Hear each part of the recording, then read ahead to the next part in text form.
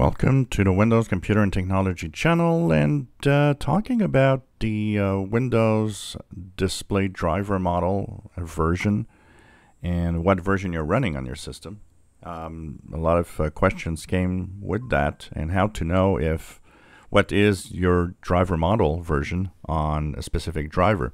Like I said, the older the display driver or the less powerful it is, usually the older the Windows driver model it has, and more advanced gaming um, GPUs that are really powerful, like a lot of the latest NVIDIA and Radeon chips, will of course have the latest display driver model.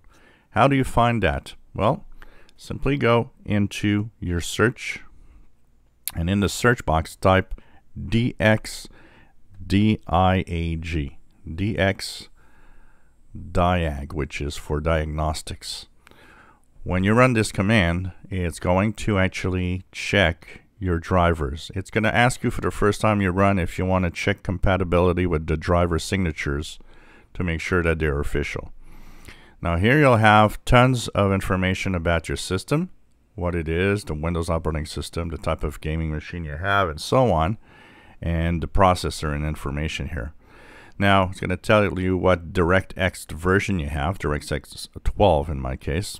But you want to have next page. There's display 1, display 2, because in my case there's two GPUs. Some of you might have just one display here. So the main low power display of my machine is a uh, basic AMD Radeon graphics chip. And here, when you look at this page, on the driver tab, you will see driver model. So this older one is running onto the Windows driver display driver model 2.7. Probably nothing more because it's probably not compatible with the latest versions. If your display adapter cannot run the latest features, your Windows display driver model might stay older. But if I look at my second display, which is an NVIDIA GTX 1660 Ti, it actually runs on driver model WDDM 3.1, which is one of the latest, well, the latest model right now for graphics adapters, and probably would be compatible with uh, Windows Display Driver Model 3.2 when it comes out eventually. So this is how you know which driver model is actually running on your system with the information of the um, the uh, diagnostics for the uh, DirectX diagnostics tool.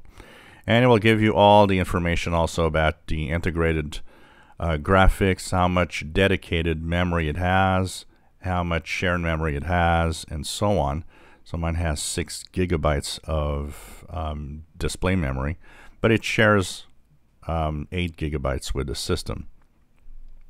If you look at the other one, the the basic one, it only has 500 megabytes of display memory. Shares most of it with the system. Makes it a lot slower, of course. So you have all the information, the speed at which the the um, the digital encoder works and so on, and the GPU works. So it gives you a lot of details of what's in here on the display adapter. And uh, you have, of course, you can save all the information to your PC as a file so that you can actually refer to it later if you want. And uh, then you have, of course, sound and input if there's any information available there. So the DirectX diagnostics tool is the way to find it. If you don't have the search or don't know how to do it, you can also run um, through anywhere. Like you can use terminal. And here you can just type dxdiag, enter and this will pop up the diagnostics tool for DirectX also. You can run it in the uh, in the command line, the command prompt. This works both in Windows 10 and Windows 11. If you enjoy my videos, please subscribe, give us thumbs up. Thank you for watching.